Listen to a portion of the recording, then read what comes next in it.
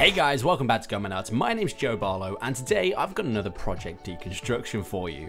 If you've been watching the series so far, you know I've been watching every single Marvel film and attempting to recreate a visual effect from every single one. This week I watched the first Guardians of the Galaxy, and I'm attempting to recreate the Power Stone scene from the end of the film.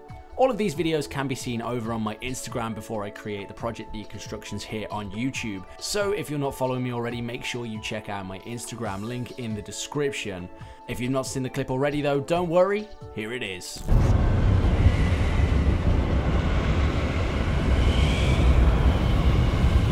So, Guardians of the Galaxy, this is the shot we'll be imitating today. This is where Peter Quill has the Power Stone, and we've got all this swirling energy, uh, and eventually his face sort of breaking apart here. This is just all the effects of the Power Stone absorbing him. So we're going to do two shots. We're going to do this one here and also this one here. We're going to skip the, uh, the Gamora thing in the middle there. Um, so let's just take a better look at these. We've got the energy in his hands sort of blowing off um, sort of smoke occasionally and these sort of sparks.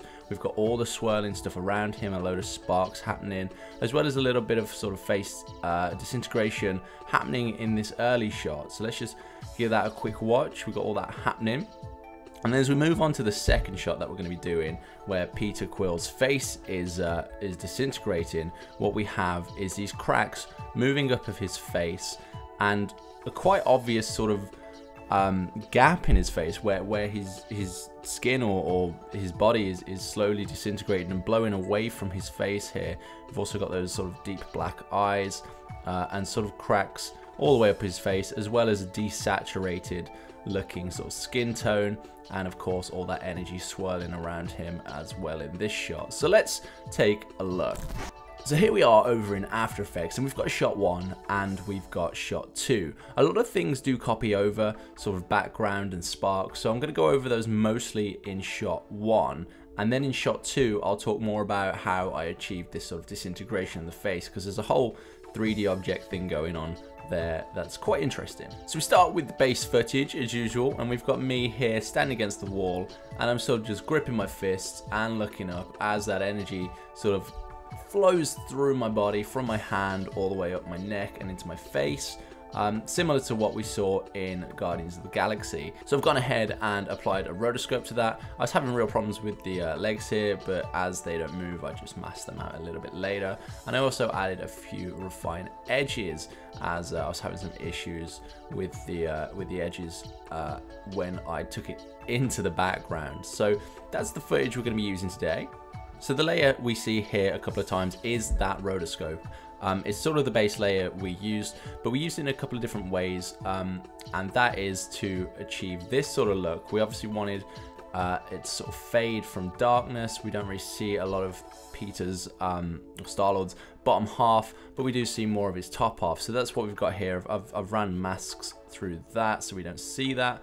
I've also got this uh, edge glow, which I've used in previous videos. Um, if I could find the right layer, then I'll uh, just quickly remind you of how I achieved that. So you'll see we've got a couple of different layers of me inside the brighten layer.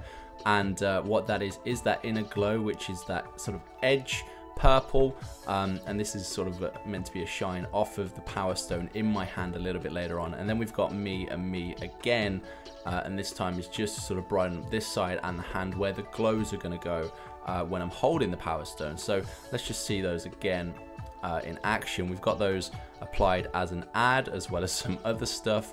It's kind of messy how I've made this sort of base me, but um, the way that I wanted it to sort of interact and blend with the background, it sort of meant I had to do this to it.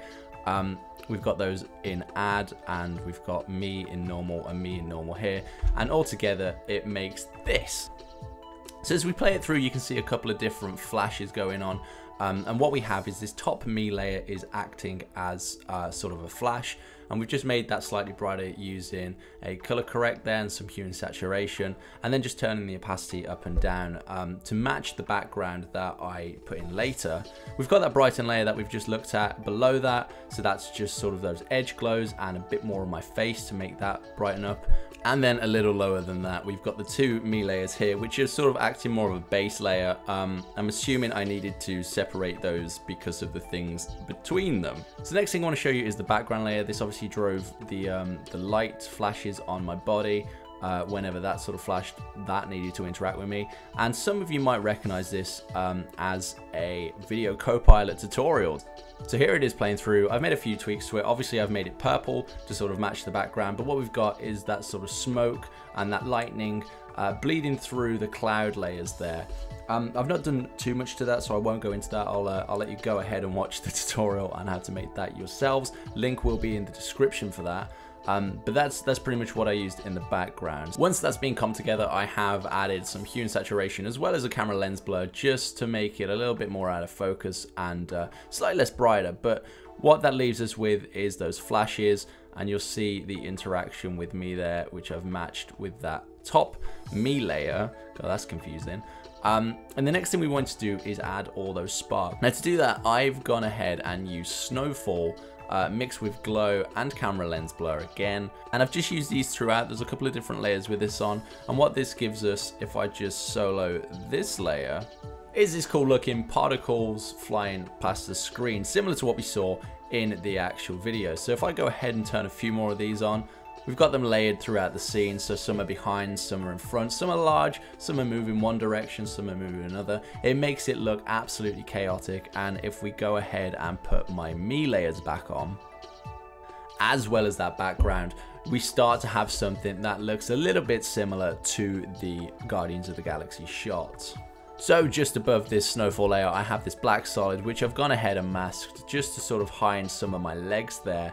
Um, again, this is uh, an attempt to sort of blend my body with that cloud layer um, as I didn't have any form of sort of ground uh, that I could keep in existence. I assume they shot this with sort of a green background, but the stage in front uh, might have been real. I'm not sure. I've not seen those uh, that footage, but um, unfortunately, I didn't have uh, any floor I wanted to keep, so I went ahead and just sort of hid my feet there.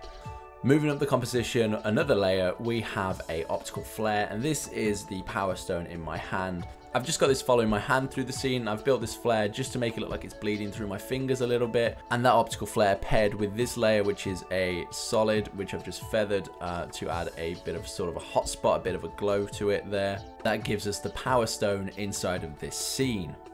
Now the next thing I want to focus on is these few layers down here and this is a particle jumping out of the power stone. You remember it from the shot from the beginning of the video um, and I wanted to try and capture this. So what I went ahead and did was start by adding a optical flare bouncing out of the power stone there and you'll see it fly across screen like so.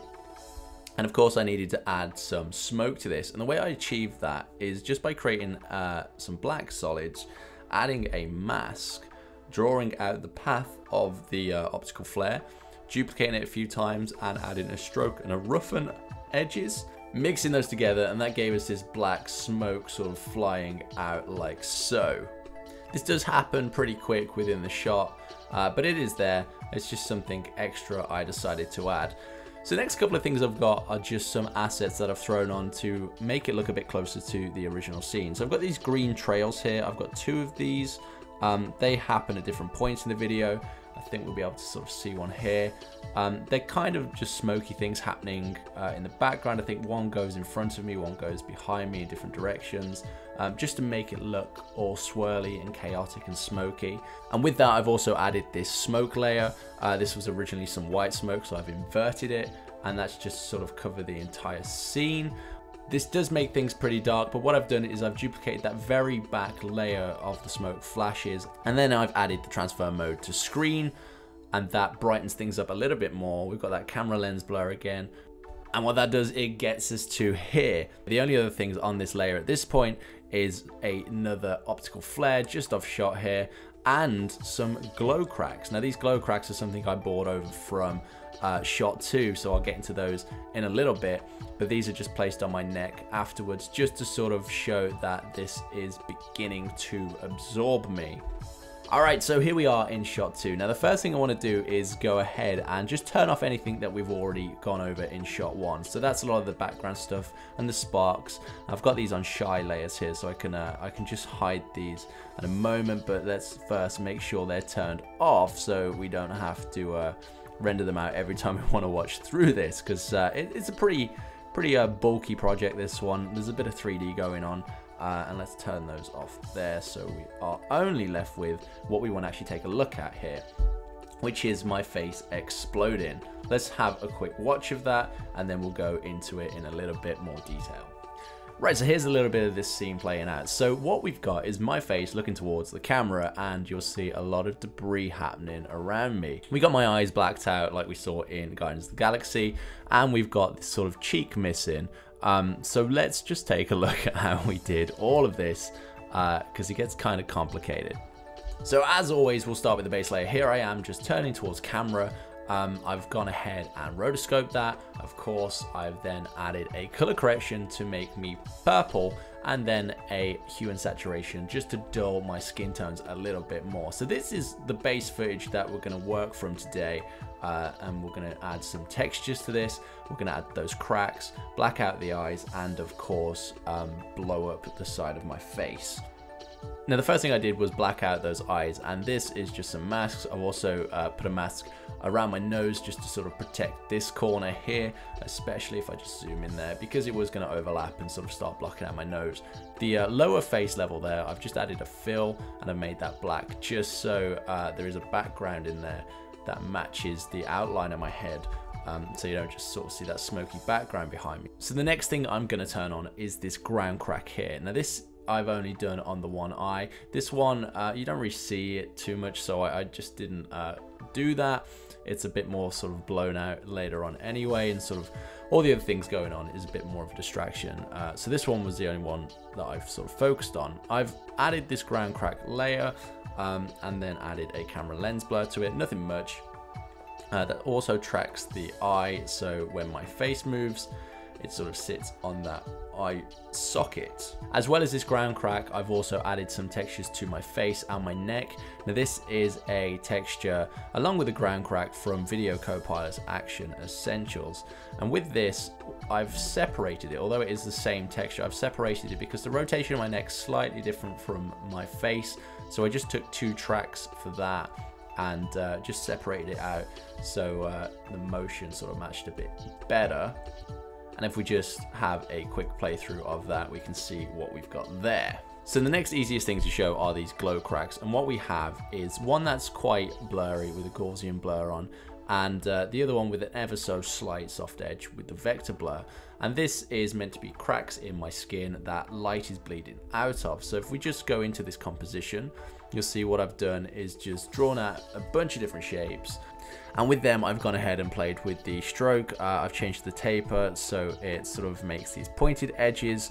Um, and we've got three on top and three below, and three below are blurred as well. I've gone ahead and dropped those on my face and matched them up with the track that I did as well, that null 3 uh, down here. And that leaves us with these glows over the eyeball. So the only other thing left to show you is the actual um, piece of my face missing and all of the sort of debris coming off. And I've achieved this with a 3D scan of my face. Now this is from an app called Face App. You can scan your face in uh, and then buy it, I think for one dollar.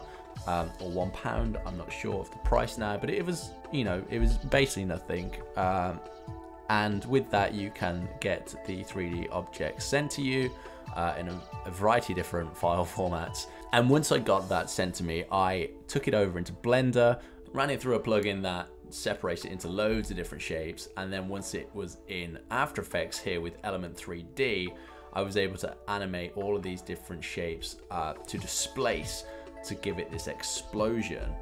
So this first layer here is just what I bought in from Blender and this was it just all sort of broken up but pieces are missing and this I used on shot 2 just to achieve a crack in my face.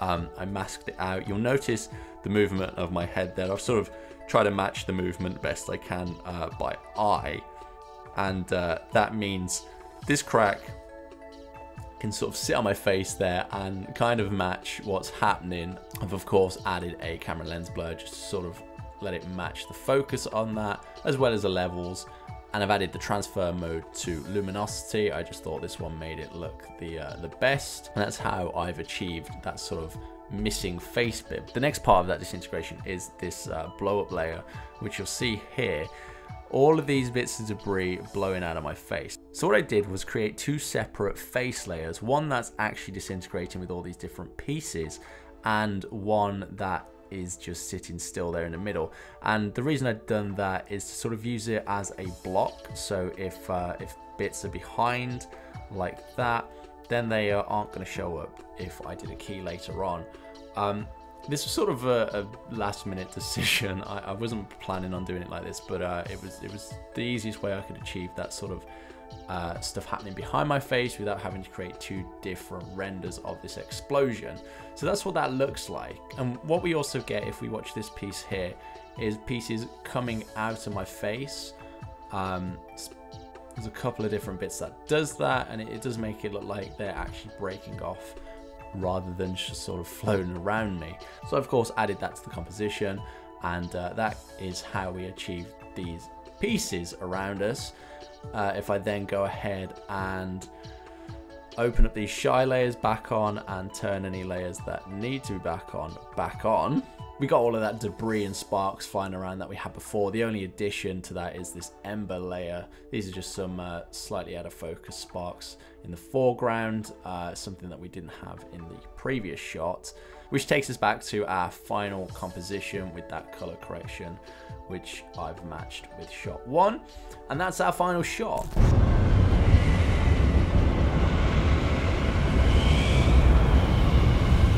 And that was my attempt at recreating the Power Stone scene from Guardians of the Galaxy. As mentioned at the start of the video, I am uploading these over on my Instagram first, so make sure you are following me over there, make sure you're subscribed here, and you won't miss a thing. Until next time though, thank you and goodbye.